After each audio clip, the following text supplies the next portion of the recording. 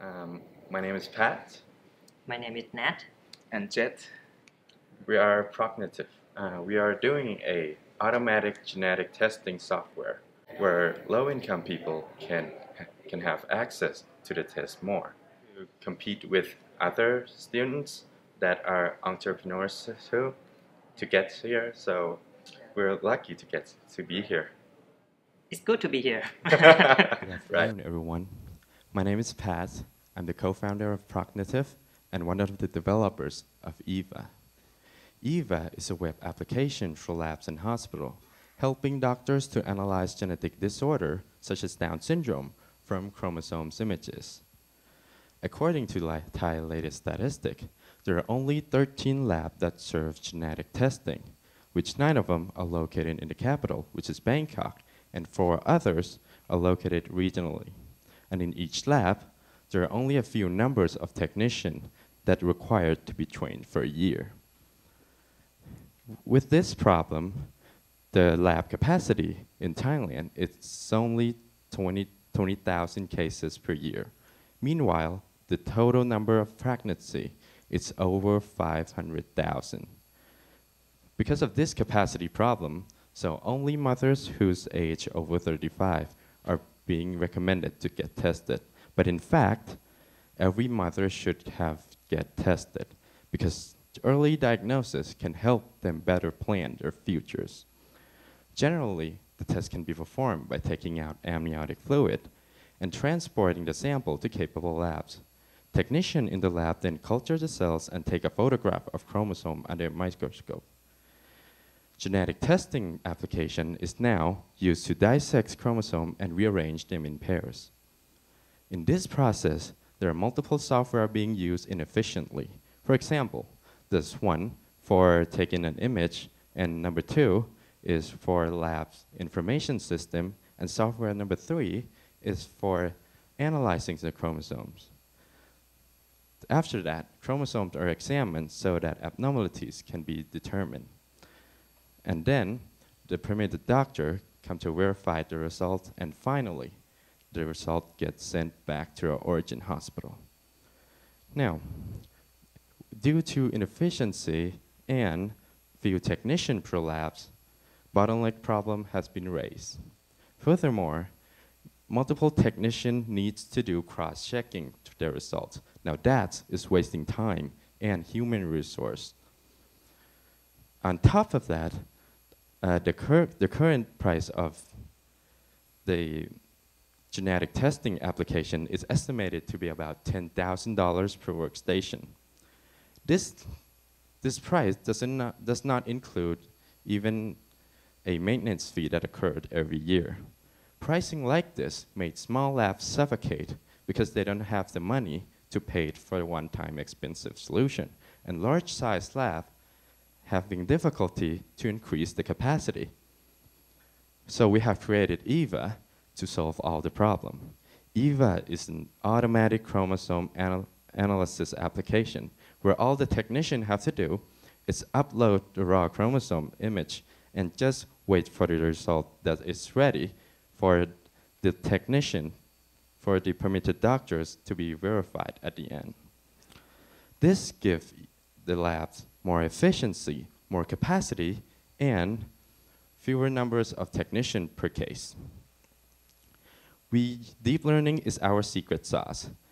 Deep learning is a machine learning serve, uh, machine learning technique that's mimic the activity of human brain in processing data and creating patterns from large amount of in which EVA has already learned more than for more than two millions of individual chromosomes, so it's understand how to classify and identify chromosomes. And the more data it gets, the smarter it is. So, of course, uh, more data is coming from the government hospital and our partner. We also collaborate with Medical Genetics Center, which they, which they're our one of the 13 labs that I mentioned earlier, and they provide us more than enough data to create EVA. And they will be the one that tests and validate the result of our software. And most importantly, they will be our first customer. and they will connect us to other customers as well. There are existing solutions such as GenASI, Metasystem, and MicroOptic, but we're not the direct competitor to them, in which we'll open up a new segment of the market and which, which genetic testing will be at much more lower price, which low-income people can access to the test in a countryside hospital. EVA is operating totally on cloud, so zero hassle in installation and maintenance service. And since EVA is fully automatic, the workload of the lab technician will be reduced drastically, so the capacity of the test will escalate. Our cost is lower, so the lab cost will be lower too.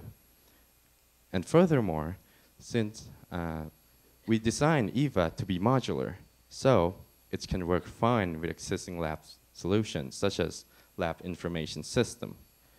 Since our market is a niche market, plus it's business to business, direct sale would be the most appropriate channel at this point. In addition, being a new player in this uncontested market is our disadvantage. That is, trustworthiness become the first factor. So approaching them directly will help at this point. And we also have help desk if you have any question about the product. Therefore, EVA will be available in two plans. The pay-as-you-go plan, which we charge $3 per case, will be suitable for small size lab, and prepaid subscription plan, which we charge $3,000 a month and $30,000 a year, will be suitable for a medium to large size lab. And our price is already include all the upfront fee, and the software is guaranteed to be always up to date, and the price can serve up to 10 users per plan. EVA can be possible by our amazing team, which consists of software developers and genetic experts we have started EVA in the beginning of 2017, which in March, we got second place in National Software Contest, and in April, we got third place of Microsoft Imagine Cup 2017. And, in and right now, we achieved 75% in accuracy, which we will hit 90% of accuracy in October and launches uh, by the end of the year in 2018, we'll add more feature based on user feedback, and we'll, we will research on new possibility of screening tools, such as leukemia prognosis and cervical cancer screening tools. And in 2019, we will develop those tools and launches by the end of the year, which can rely on EVA technology. And in 2020 is the year we're looking forward to enter an international market, which we will start in Southeast Asia. This year, we will focus on product development, so zero income can be expected. And in 2018, as well as Medical Genetics Center, one of the hospital, one of the government hospitals showed us an interest in our product, and they will be ready to test EVA. In 2018, we expect to have one subscriber and serve 12,000 cases. And in 2019, we expect to have three annual subscription and serve 21,000 cases. And in 2020, since we enter an international market, we'll earn more than $45,000. We also already got a seed funding from our government and university, and we we need more, we need another $42,000 to launch EVA at full potential. Our business is not only profitable, but also help the society by making healthier generation and making healthcare more inclusive. Thank you for listening.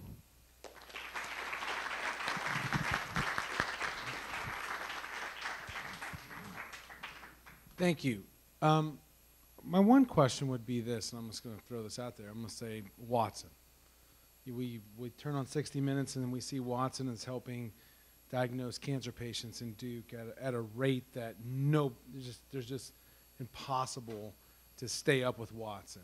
Or do, do you see that as a competitor? The supercomputers coming in, you know, eventually we're going to get to this portion of it, or do you want to?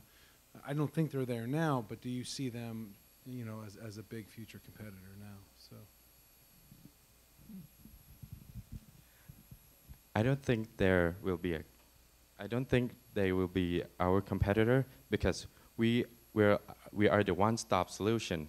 We al- already got everything worked with, and we um, sorry, we we are. Uh, the, uh, we already integrated our application with the lab information system of, of the hospital. So our uh, I don't see them as a competitive competitors. Uh, not all genetic disorders can be detected. Um, how are you protecting yourself from um, lawsuits, uh, liability? If I, I, you tested my genetics and did not find something, and then something happens, how are you protecting yourself? Our product is the tool for doctor to help them analyze the genetic dis- genetic disorder, and our solution can solve the problem with the with the karyotyping technique, which is the which analyze the chromosome from the images. So there is the there is some limitation in by that, like. Uh, there are many there are many kind of analyze genetic disorder analysis like fish technique or even uh, DNA sequencing. But those technique is uh, very expensive and require a lot of expensive equipment but in this solution uh, is a, lot of cheap we use a lot cheaper equipment. And by that uh, most of most of uh, the country that look like Thailand Uh, and Southeast Asia use that technique because it's cheaper.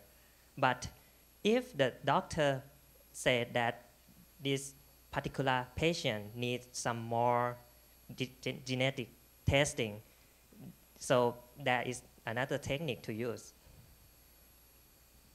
But does the liability rest with you or with the hospital that purchased the license? That, The, the label? that purchased, you know, you had where you could pay three thousand a month or mm-hmm. thirty thousand a year. Is that who's gonna hold the liability, the company that has the license with you, or is it go with you? Mm, what is it? I know. What, is, what do you think? Okay. Okay. Yeah. Sorry. So I'm gonna say it to you this way: your your product. I bring my wife in, and it says there's nothing wrong with her at Mhm. all. Our product's telling you that, and then there happens to be something wrong in this country, Oh. you would get sued. Okay. Does that make Um, sense? Yes, yes, yes. Sorry for our English. um, our application just assists the doctor, and they have to be a doctor verified the, the result at the end.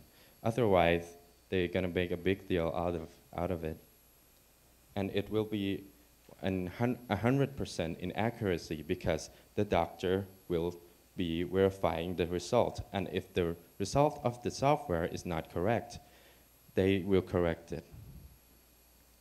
Um, in one of the slides, you mentioned that you will get from 75% accuracy to 95% accuracy, right?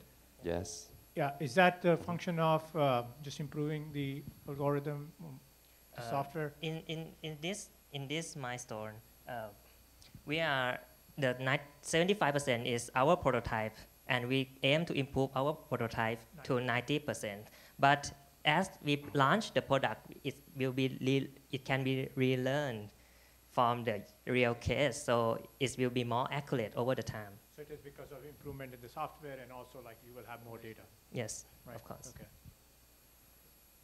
Um, I'm just wondering about the economics for the labs that you're selling to. So you're charging them three dollars a test? Yep. How much are they charging for the test? how much is charged per test? Uh, it depends on the labs, and the minimum minimum charge is like two. Uh, we have to translate into dollar, Uh,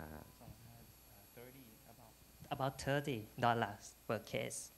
Okay, so, That, that so- is that is the lab chart. right, so, so you're trying to get them to do ten times as the number of ca, of tests that they would normally do. That's Yes. the Yes. economics of it. Exactly. Just wanted to clear that up, thanks.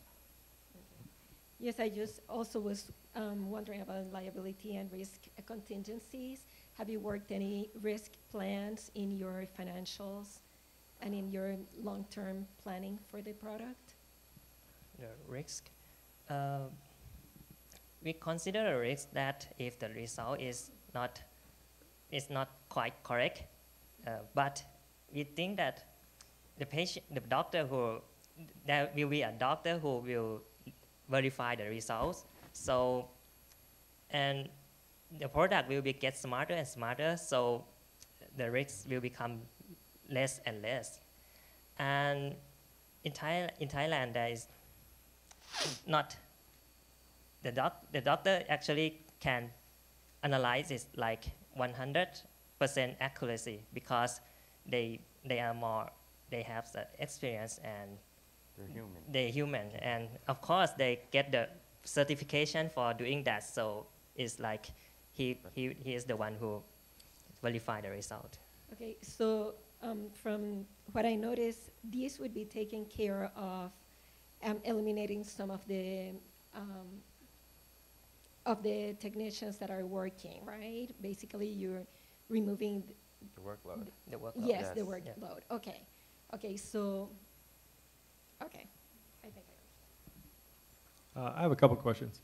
So you're going to, in October, you're going to be achieving 90% accuracy. The current uh, manner in which um, this process uh, occurs now with all the technicians, what's their accuracy rate? 100%.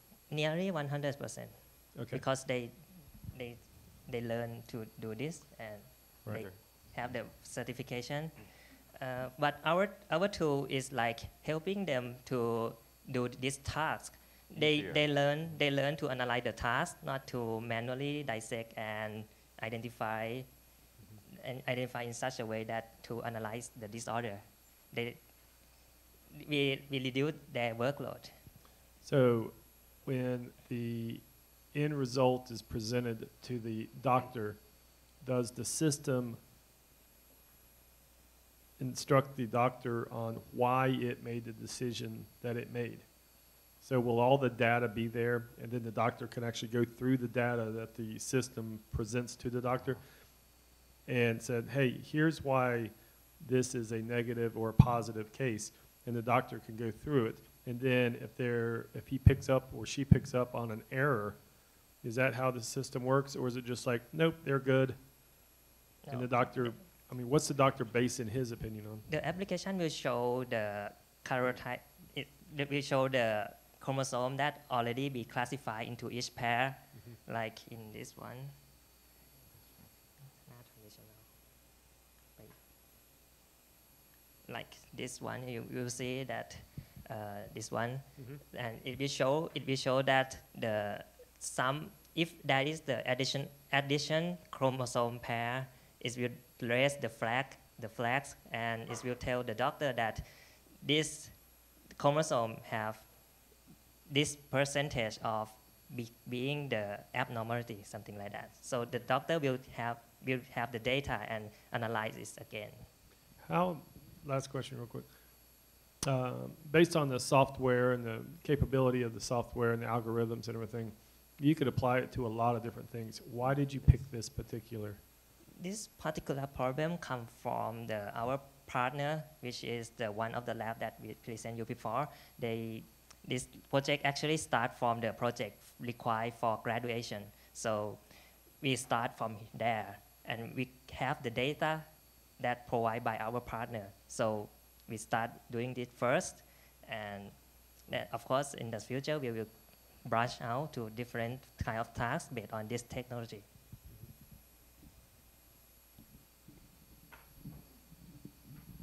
Okay, a few online questions. Uh, many genetic disorders cannot be detected with conventional methods. What range of diseases do you think this will accurately detect? Uh, mostly in, in this particular test, uh, karyotyping, the genetic disorder, uh, we can detect the numerical disorder like Down syndrome and some structural disorder like the deletion of the chromosome, something like that. So we can, but if in, we cannot detect the DNA, DNA level because it's just the Im- we analyze only the image. Okay, one more online question. What is the accuracy rate of your testing? In Iceland, the genetic testing is estimated at 80%. Pardon again, please. What is the accuracy rate of your testing? In Iceland, the genetic testing is estimated at 80%. What is the rate of your testing accuracy?